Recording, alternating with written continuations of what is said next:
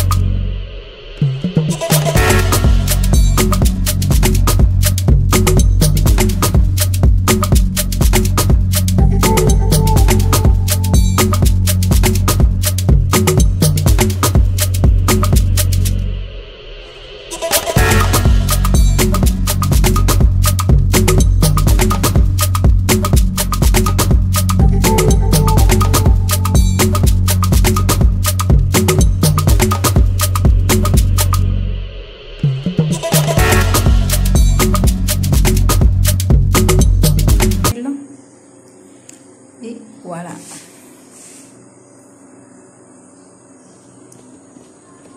Voilà, voilà. Mmm.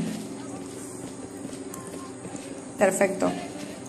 Bueno, mis hermanos, aquí pueden ver el bernanchín, clásico, típico entre las comidas gambianas. Como les estaba diciendo ahorita, lo hice con carne de vaca, algunos vegetales y sus especies correspondientes. Nosotros aquí lo acompañamos con pepino o con tomate. En este caso del día de hoy lo vamos a acompañar con pepino. Espero que lo puedan disfrutar al igual que yo y nada, ya saben ya, si desean se pueden suscribir al canal, compartir con nosotros y compartir todas las cositas que vamos compartiendo de nuestras vivencias aquí en la República de la Gambia.